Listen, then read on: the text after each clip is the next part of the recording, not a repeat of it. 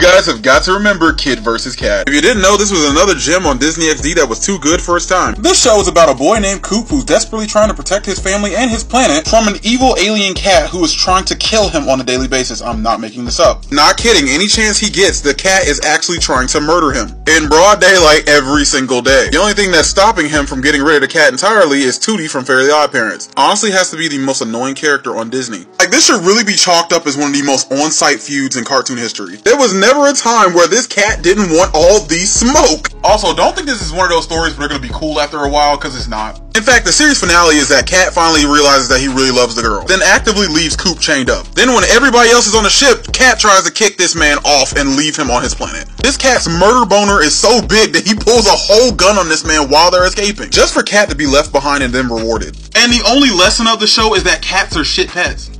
So unbelievably selfish. We are kids.